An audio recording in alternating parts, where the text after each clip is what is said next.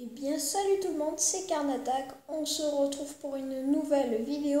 Et aujourd'hui présentation particulière car je vais vous présenter une canne, ce qui est plutôt rare sur ma chaîne.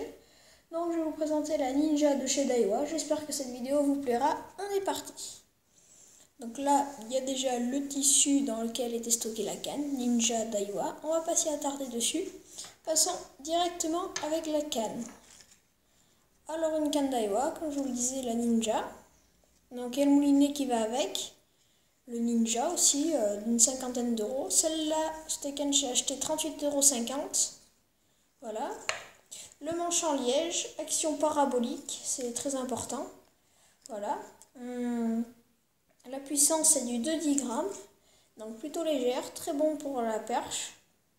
Je pense que cet été et cet automne, ça va bien donner sur la perche au popper. Je le sens bien. Voilà, donc une canne de 1m80 je crois.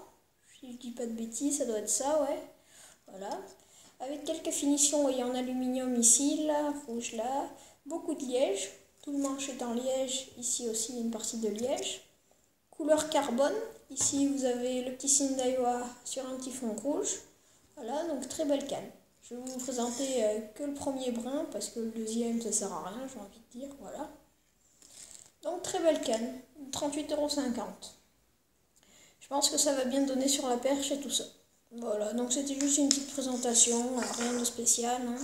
Voilà, j'espère que cette vidéo vous aura plu. Euh, n'hésitez pas à liker et à vous abonner. Et on se retrouve tout simplement pour une nouvelle vidéo.